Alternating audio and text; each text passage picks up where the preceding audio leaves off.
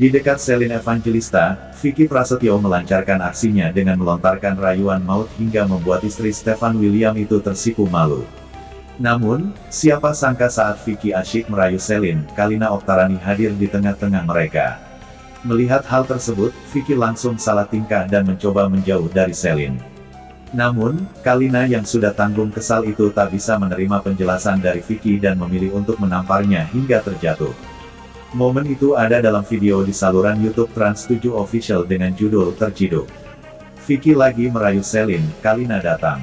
The Cave tanggal 19 April tahun 21 part 2, yang tayang pada tanggal 20 April tahun 2021 kemarin.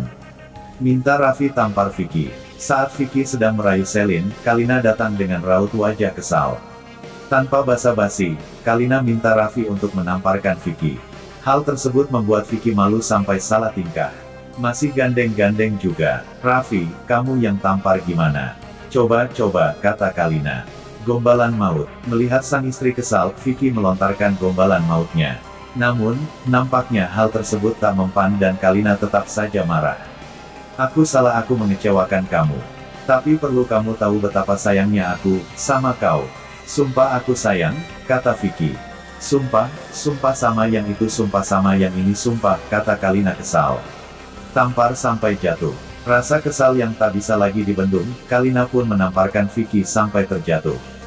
Vicky sempat tersenyum bingung dan menanyakan apa salahnya hingga ditampar seperti itu. Astagfirullah salah apa sih aku, kata Vicky dan Kalina hanya diam saja.